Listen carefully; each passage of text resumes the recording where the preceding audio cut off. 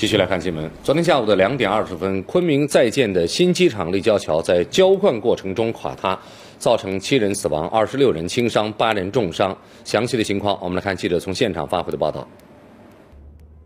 昨天下午两点二十分，由云南建工市政公司承建的云南省昆明新机场配套工程机场高速公路引桥在混凝土浇筑施工中，突然发生了支架垮塌事故。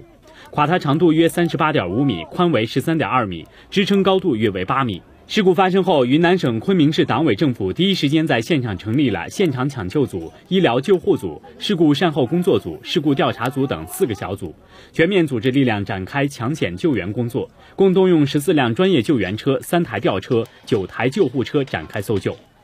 因为它是钢架桥梁，它还搭在这个脚手架上面，那么。大量的这个钢管，钢管，然后还有一个是高标号的水泥渣，这两个增加了施救的难度。我们调动了这个呃十四张战斗车，呃一百零六人官兵赶赴现场。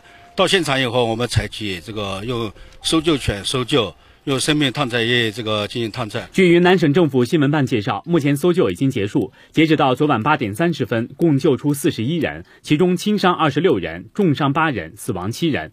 目前事故原因正在调查中。建设中的昆明新机场定位为中国面向东南亚、南亚的国家门户枢纽机场，规划总投资二百三十亿元，设计年旅客吞吐量三千八百万人次。